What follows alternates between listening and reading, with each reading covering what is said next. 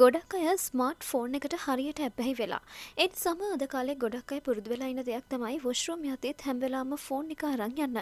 හැබැයි ඔය දන්නවද ඔයා ඒ විදිහට වොෂ්රූම් යද්දී ෆෝන් එක අරන් යන එක ඔයාගේ කායික වගේම මානසික සෞඛ්‍යයටත් දැඩි ලෙස බලපාන බව. හානිකර බැක්ටීරියා.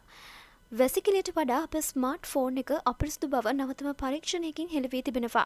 ඔය වොෂ්රූම් යද්දී ෆෝන් එක අරන් යනවා කියන්නේ ඒ මත අහිතකර බැක්ටීරියා රැඳෙනවා කියන එක. මේ සම්බන්ධයෙන් සිදුකර ඇති පරීක්ෂණවලට අනුව විශේෂයෙන්ම e. ඒකෝලයි නම් බැක්ටීරියාව මෙලෙස ෆෝන් එක මත රැඳී ඇති බව සොයාගෙන තියෙනවා.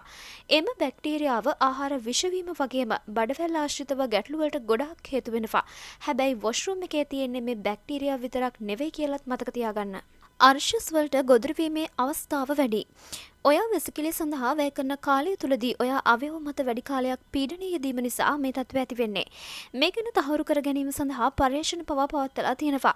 ඒ අනුව වෙසකිලියට යද්දී ෆෝන් එක අරන් යන අයට අර්ශස් රෝගයට ගොදුරවීමේ අවදානම වැඩි බවයි අනාවරණය වෙලා තියෙන්නේ. ශ්‍රෝණි තලයේ අක්‍රියතාවයන් නැති කරයි.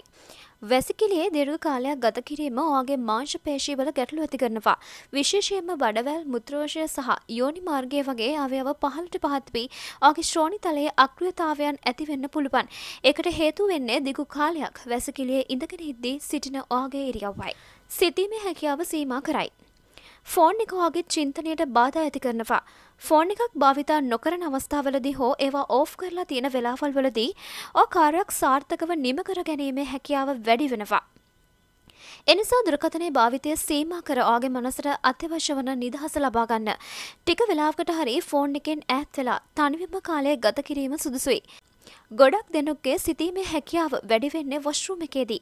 එනිසා වොෂ්රූම් යද්දී ෆෝන් එක රැගෙන යාමෙන් වළකින්න. ස්මාර්ට් ෆෝන් එක නැතිව වෙන කිසිම වැඩක් කරගන්න බැරි තරමටම හැමෝම දැන් අසරණයි.